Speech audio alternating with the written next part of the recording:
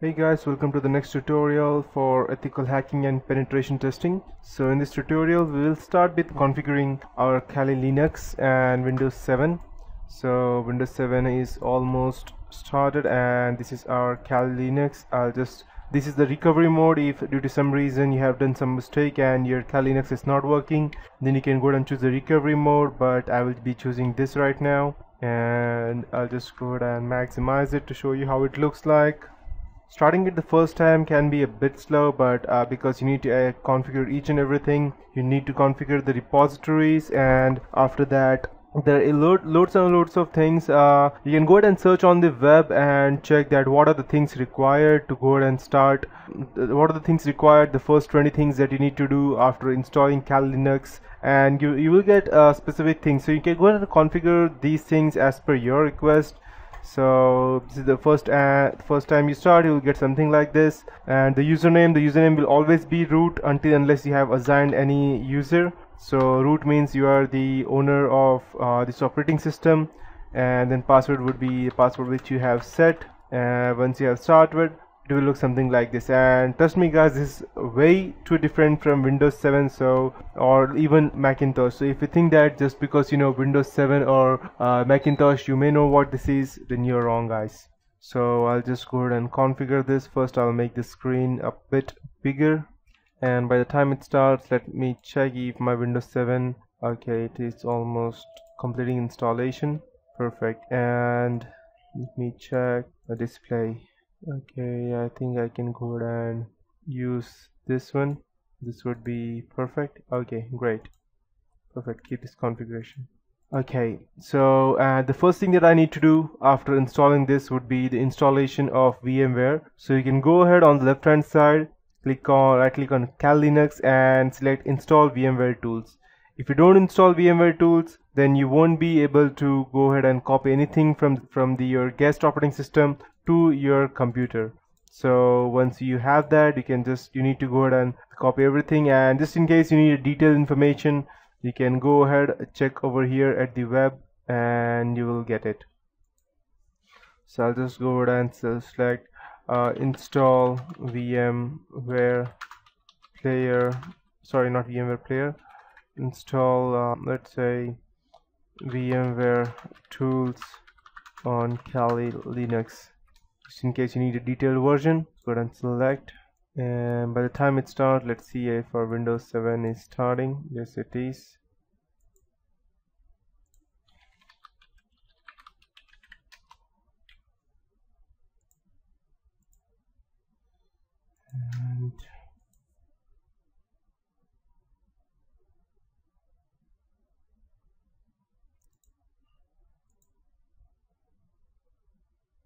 it's getting started. Okay so as you can see that you need to type API uh, once you have over here you can go ahead and just go into the specific thing and need to install that. So I'll just go to my directory. I'll just go ahead and open it. Let me check what we have inside the CD-ROM okay okay why is it that I can't see anything? Let me check. Okay so the uh, Windows 7 has started so I'll just type test user. It would be the name. And I'll uh, let's say I'll got the same password. And perfect. No perfect whatever it is home network. No let me check we have I'll just go down and try to remount it. Let's see if I get something over here. Okay Kali live no. I'll just eject let me check if I still have it over here. Okay yeah this is the reason so I'll just go ahead and I have to remove that. So by the time I'll just go ahead and install the VMware tools. Okay perfect. We have it over here. So I'll just go ahead and you need to copy it and paste it in the home directory. And your home directory will be over here. I'll just go ahead and open the sidebar. So we have the home over here. I'll just go ahead and paste it over here. So once you have it I'll just check by the time skip uh, okay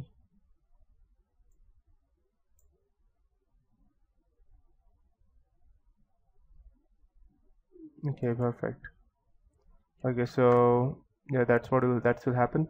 Okay so we will start with configuring this and once you have copied it just go ahead open on your terminal and uh, I assume that you have uh, no knowledge of I will be assuming that you don't have any knowledge of uh, use, uh, using Linux uh, prior to this tutorial so I'll just go ahead and let you guys know the basic commands that you would be needing would be cd that we would be the, to change directory.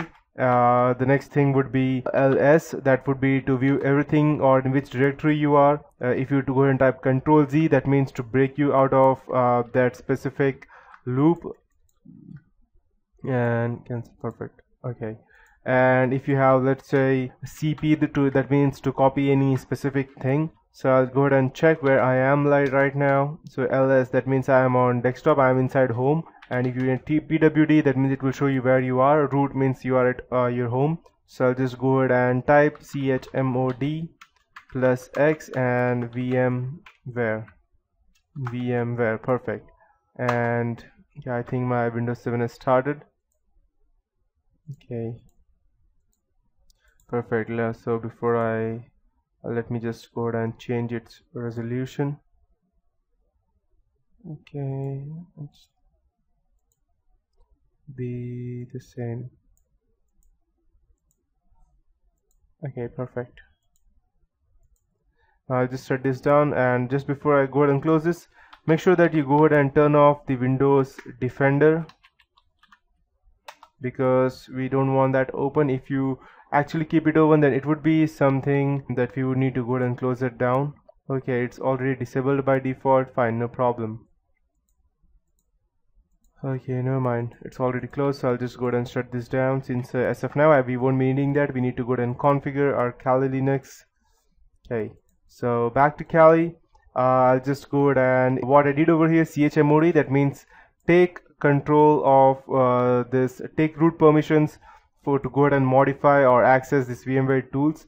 And I'll type tar hyphen xf space VMware tools. That means it will go ahead and extract the tar file that is a specific uh, code that we need to use. And by the time it goes and installs let's close our v uh, Windows 7 perfect. And as you can go ahead and see it has already went ahead and extracted this specific zip file and tar.gz means a zip file. So if you go and see this is your original version and this is uh, actually installed. So actually extracted. And now we need to go to install that. So I need to go and through that specific directory cd and vmware.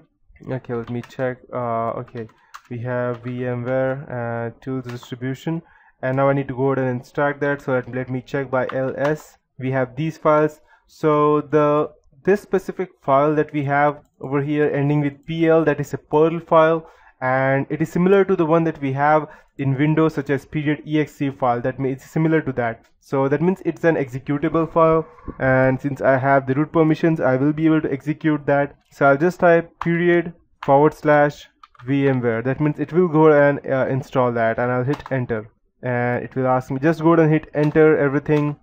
And it will go ahead and install uh, each and everything over here so yes yes. No yes. Whatever it asks you just go and keep hitting enter. Doesn't matter what it's asking because it will straight away go to install all the necessary things. And to change it no. Okay instead of the running please enter the files running from not compiling modules for some reason. The distribution okay no it will take a bit of time for it to go ahead and get installed and uh, perfect. So it's been installed right now and I'll just go ahead and type exit and I won't be needing these VMware tools so I'll go ahead and delete both of them.